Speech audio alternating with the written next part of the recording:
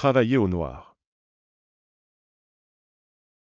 Le terme travailler au noir signifie exercer une activité professionnelle non déclarée légalement et ne pas payer les charges sociales et fiscales correspondantes. On parle également de travail clandestin ou de travail illégal.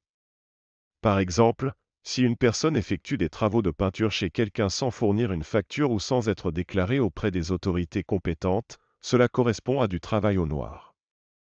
De même, si une entreprise emploie des travailleurs sans les déclarer aux autorités, cela constitue également une forme de travail au noir.